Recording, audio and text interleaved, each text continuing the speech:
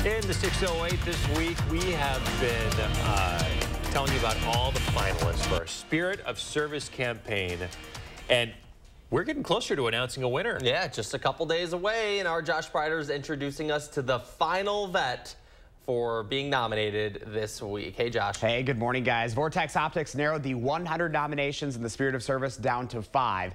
And this week, we've been meeting the candidates who have a chance to win that $5,000 cash award. This morning, our final nominee. Here's Rob Drogsvold's story, one of selflessness and service. I like to think of myself as a pretty humble guy, but I also like if you're going to put a face to a veteran in Stoughton. A lot of people know me. A lot of people know that I served in the Marine Corps.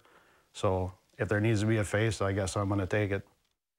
Recognizing the importance of remembrance, Rob Drogsvold personally plants flags at veteran memorial parks on significant occasions like Veterans Day and Memorial Day. Rob is a local veteran whose tireless efforts have made Stoughton a better place for all of its citizens, especially its veterans. Rob's journey began from 1996 to 2001 when he served in the Marines working in communications for ground combat units. Since then, his commitment to service has only grown, leaving his mark on the community. He's not just known for coaching hockey in Stoughton. Rob received the All-American Post Award during his first year as post commander of the Stoughton VFW. This prestigious award underscores his dedication and effectiveness in leading the VFW, setting a high standard for community engagement and veteran support. But one of Rob's most impactful initiatives is his coordination of the support for the Hero Center, a shelter for at-risk veterans in Dane County, something that resonates with him as once a struggling veteran the hockey family picked me up where the Marine Corps had kind of left off. And then when I stopped coaching hockey after my injury, then I was able to, you know, just turn that right around and give it back. And the Marine Corps puts so much focus on leadership. I mean, even your first day in boot camp, you're constantly learning how to be a leader, how to work as a team. And that's essentially what the VFW is.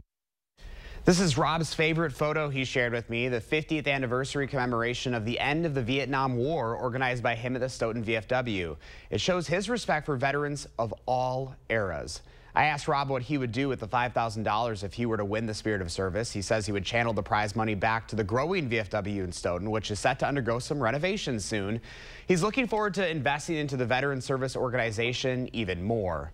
So Rob is one of five people you can vote for to receive the Spirit of Service. We've now heard from all five candidates this week and what they plan to do with the award. You can watch all of those on our website. Just go to the In the 608 section. Then vote for your favorite nominee at channel3000.com slash contest through the end of day today. This is it, folks. Today is it. You can also go to the story on our website. Click the Vote Now link. Again, Monday is the big morning that we're going to be unveiling that big winner. So, and I have nothing to do with like that part. Like, right. We're tallying up the votes, and Vortex will be here with the big check on Monday morning. So, so cool. it's going to be really special. Yeah, you know, and you could have done this for like the next three months with all the great oh, people time. that were nominated. Of course, had to whittle it down to five, and uh, whoever's going to win, I mean, it's going to be an exciting time. I mean, you guys saw we had five strong candidates. Yeah. This is going to be a tough decision. yeah. No, yeah, I'm glad we're leaving it up to the viewers Big and the time, voters yeah. on the website. Uh, $5,000 for them, and they're all uh, telling you that they're going to give it right back right, to the organizations that mean so much to them. And I mean, this has been emotional for a lot of them mm -hmm. too. And I wish that you guys could see their entire story because, of course, we only get that little glimpse. Mm -hmm. I mean, these people are incredible. Yeah, and you know, it's like no hesitation at all. They know exactly what they would do with that money. Oh, for sure. Awesome. All right, Josh, thank you. Looking forward to Monday. You bet.